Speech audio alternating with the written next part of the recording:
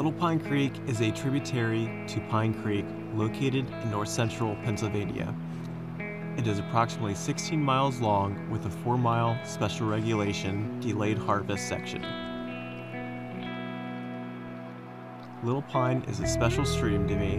It is where I caught my first fish with a fly and I consider it my home water.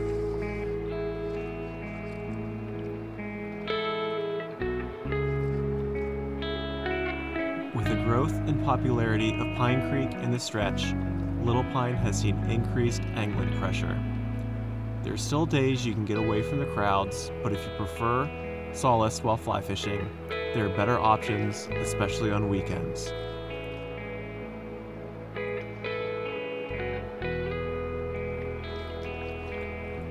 I've found the heaviest trout stocking occurs in the special regulations area there's also pretty heavy stocking in the lake and some areas outside the special regs that receive a fair number of fish.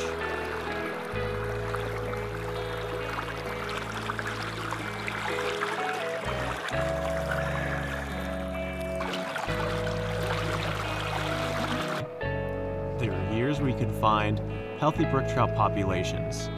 They can normally be found at the tail end of the longer pools and usually in the faster pocket water away from the deeper holes.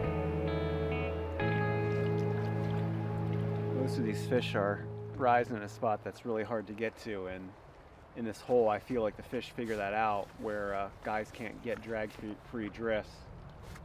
So they're all on the far shore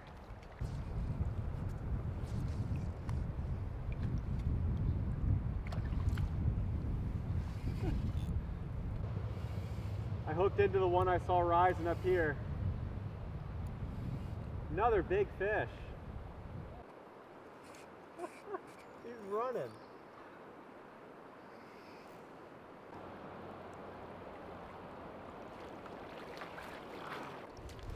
Probably a 17 inch fish.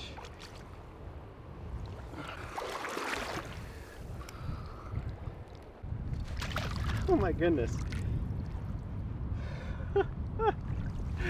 He was a fighter. One of the best fighting stocked rainbow fish I've ever caught.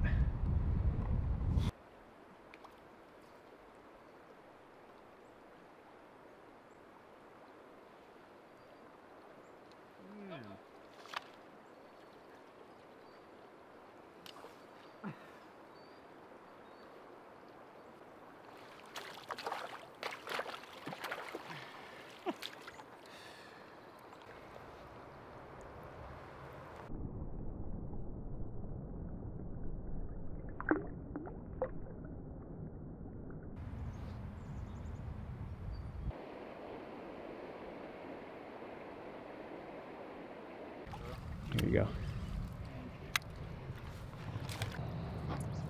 No. Saw ya. oh, doggone it. There's one rising like right in front of you. Oh yeah. like 10 feet. if you find yourself in the area fishing Pine Creek and the water temperatures rise above a safe fishing temperature, Little Pine will usually stay cooler longer throughout the summer. Little Pine can also have safer wading flows and discolors slower than Pine Creek and is also a good backup option if Pine Creek is blown out. Son of a biscuit